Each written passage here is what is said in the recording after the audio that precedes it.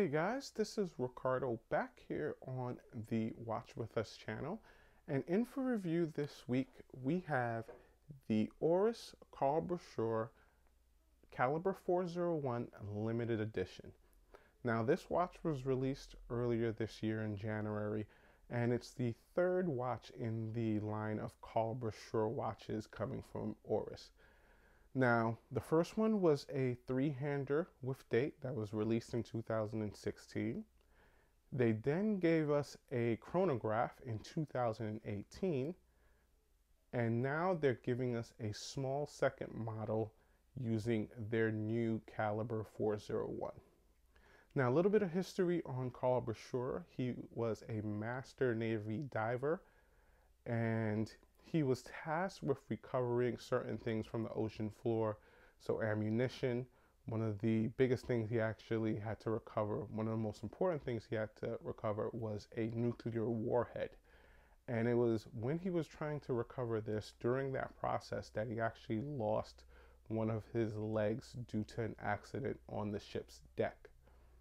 After losing his leg, many people would have assumed that he would have ended his career as a Navy diver, but he actually decided to persevere through this trying time and continue to become continue to be a navy diver. He had to be retested. He had to go through these long processes to make sure that he could handle that one weight of that large suit which added to that is the extra weight that the body has to handle at such deep depths. And he was able to persevere and actually continued being a Navy diver. And it's that perseverance that Oris is trying to commemorate with these watches. And let's see how they do with this latest one in the lineup for Carl Brashear.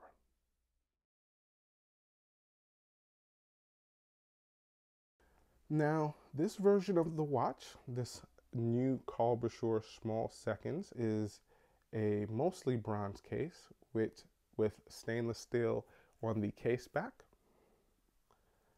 The watch comes in at 40 millimeters. However, I have to say it wears like a 38 on my seven and a half inch wrist. The watch is 13 millimeters thick. Two of those millimeters are going towards that beautiful domed sapphire crystal. You get a 49 millimeter lug to lug. The case gives you 100 meters of water resistance with this screwed down signed crown.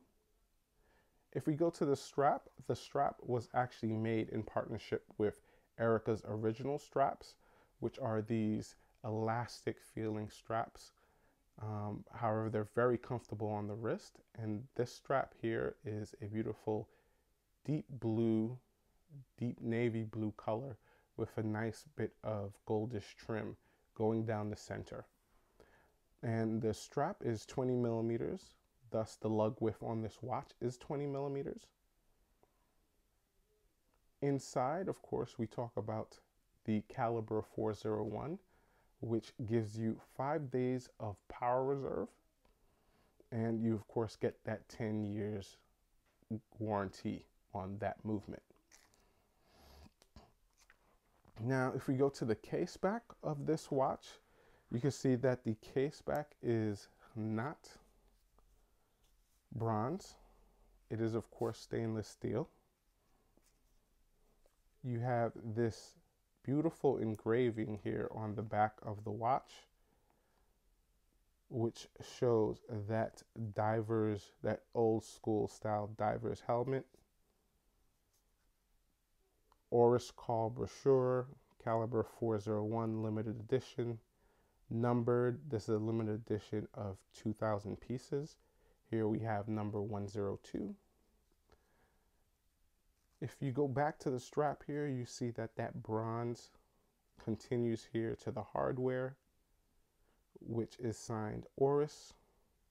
And you have that serial number here on the back. If we go back to the case, you'll see that this case is, as I stated, mostly bronzed. And it's interesting because Oris, I don't know, there's just something about the bronze that Oris is Oris is using. it's got to be a special formula because it has this beautiful, dark, deep, rich patina on it. You can see here on the bezel, it's mostly matte. However, you have this nice polished trim. Going to the dial, we have Oris at 12. At 6, we have water resistant 10 bar, 100 meters, 5 days, Swiss made. Each one of these indices here is loomed, as well as the stick hands and the small second hand, and finally the loom pip on the bezel.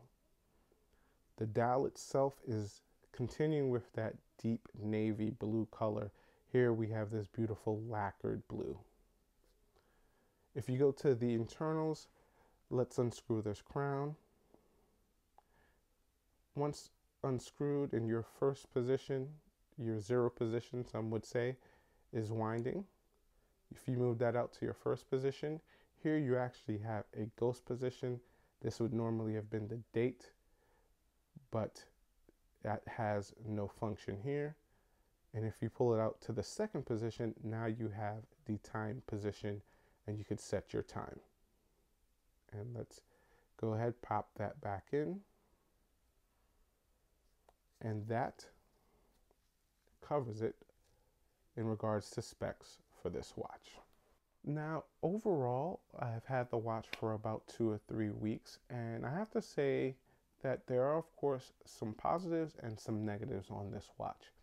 If I have to start with the negatives, I have to say the action on the bezel, I wish it was a little, a little tighter. Um, there, it gets a little loose there. I'd have to say you get 120 clicks on the bezel, and I'd have to say there's kind of a one click side to side um, play on the bezel. I wish it was tighter. Um, another thing I'm not happy about is the ghost position on the movement. Um, I understand it's a new movement for Oris. Of course, a lot of R&D goes into that. But when you're at this kind of price point and you're buying into these these now manufacturer movements, I mean, it's great to have five day power reserve. It's great with the 10 year warranty, but you know, I, I wish they had given us the the straight winding and straight to time, um, especially at this price point. Um, however, even with those two things, there are a lot of positives here. Um, one, I think the dome sapphire crystal on this is absolutely beautiful. The distortion it causes on the dial is just something that's, I mean, it's a beautiful thing to capture in pictures. It really looks amazing. Uh, I love that blue lacquer on the dial, the loom. Um, there's there's different strengths of loom, different kind of almost colors of loom here on this watch um, between the hands and the actual dial loom. I think it's a beautiful feature, beautiful function. Um, as I said, I love the movement um, in terms of just the positives of the movement in terms of the five day power reserve. Um, I'm you guys know I'm I'm definitely a a, a date guy, but uh, still really love this watch. Um, and finally, that bronze. It, it, it's hard to describe, guys.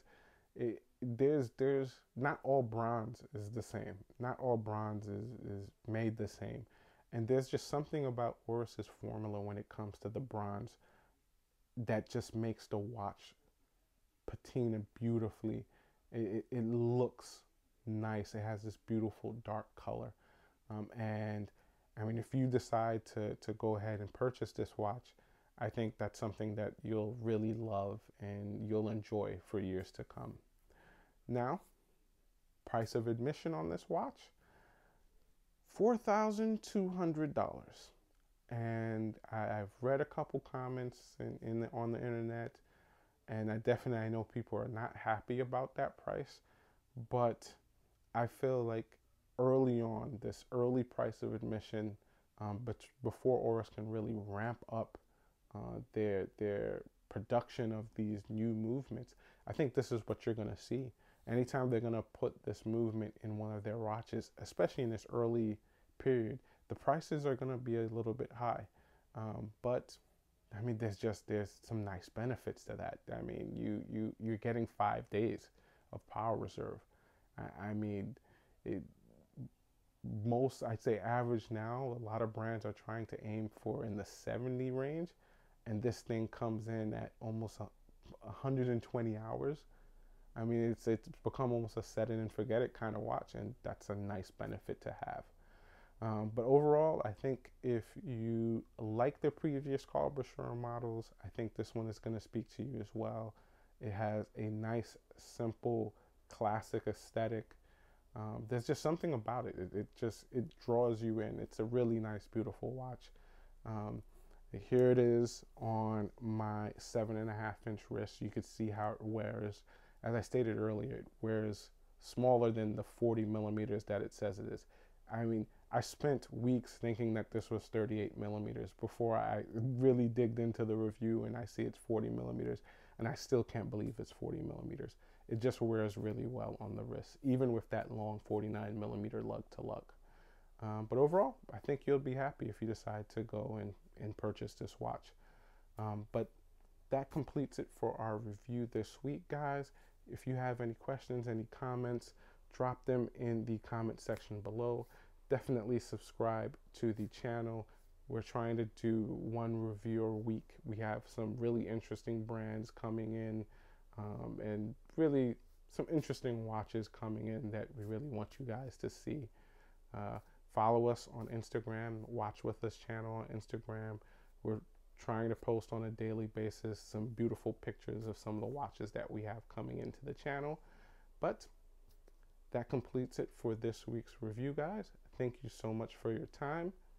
I'll see you guys next week.